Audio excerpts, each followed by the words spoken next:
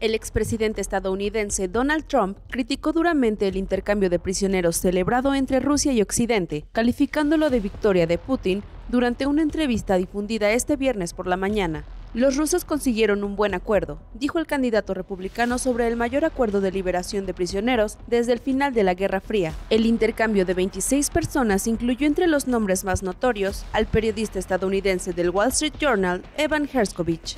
Creo que es maravilloso que Evan regrese a Estados Unidos, aseguró Trump a Fox Business.